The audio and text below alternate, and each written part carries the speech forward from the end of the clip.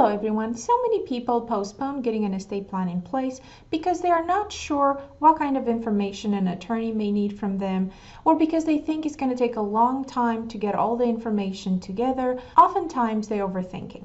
So today we're going to go over our own intake form to give you an idea on what you need to have ready or work on before you come and see an estate planning attorney. It is worth mentioning that each law firm has their own intake form. Some of them may be more complicated or more complex, asking for detailed information, and some of them may not even require you to fill out an intake form before an appointment. The reason we ask people to have their intake form ready or at least worked on as much as they can is because the intake form is designed to help you get organized and to help you write down all the information, all the questions you think of. That way, when you come to our appointment, we make the best of our time together. Before we start looking over our intake form, let's talk about what is estate planning. Estate planning provides you with the opportunity to choose now while you're well and healthy what will happen with your minor children and your money if you become unable to make decisions or when you die. What does that mean? If you get into a car accident and you cannot care for your children or you are unable to go to the bank to pay your bills, who would be stepping in? That's what estate planning does. It helps you have in writing and become legal document your designations, your wishes. The documents we use are a last will and testament, and that of course comes into play after your death. Power of attorneys are during your lifetime, but you are unable to make decisions. Advance directives, healthcare power of attorney, HIPAA releases, those are for your healthcare needs. And there are several other options, transfer on death deeds, or whatever the situation may require. So very briefly, let's look over our own intake form. It's confidential, of course, and then on your personal information, we need your legal name, your date of birth, your home address, phone numbers, contact information, marital status, if you're a widow, divorced. This is all this all relates to your estate planning needs. I like the use of the intake form for this information for your spouse and your information and then we go down to beneficiaries that way we don't spend a whole lot of time um, on who is who and how do you spell their name and how are they related you already have all that information here and ideally i even have this form back a few days before you come in so as you see, we have spouses, both clients if married, and then if they have children or other beneficiaries, how they are related to everyone. If they if their children have children, because that matters as well.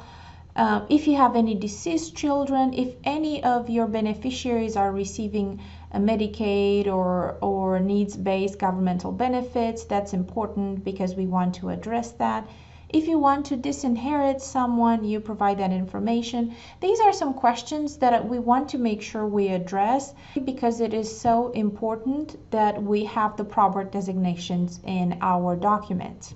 Your planning objectives once again brings me back to making sure we address all your concerns, not just, um, for example, avoiding probate or um, planning for incapacity. So it could be you want to protect your grandchildren, you want to provide for a pet, um, you want to protect against liability, and, and so on.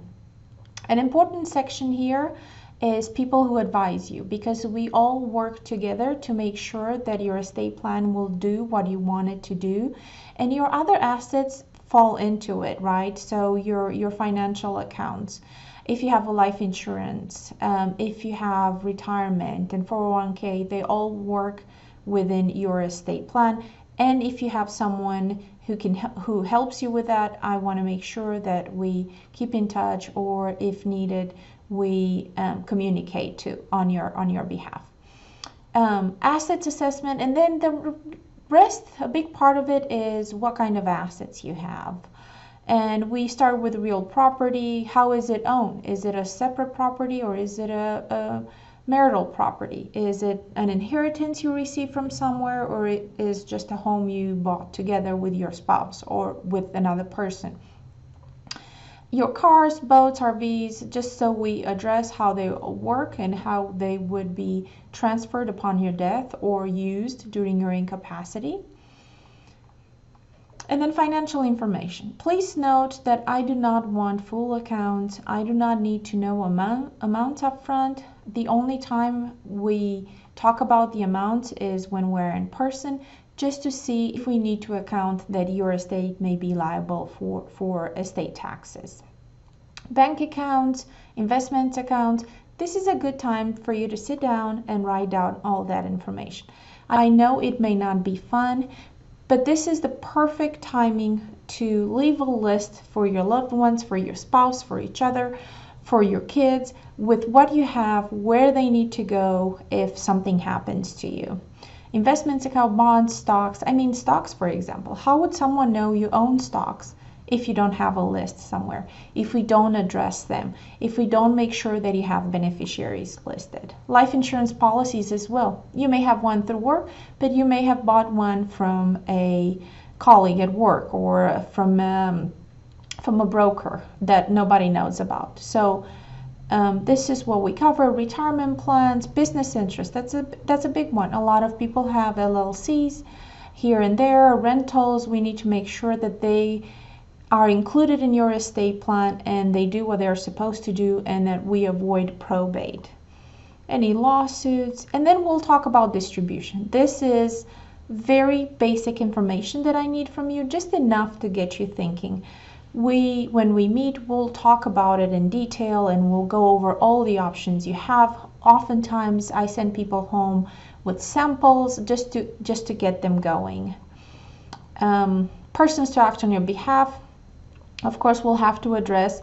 If you have minor children who would you want to serve as guardians? We have initial and alternate.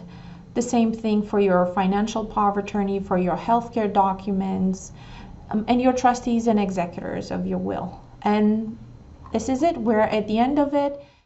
So what's next? Give us a call at 405-857-8231 to schedule an appointment.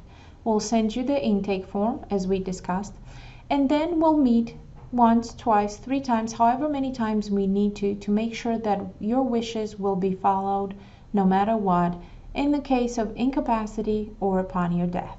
Thank you for watching.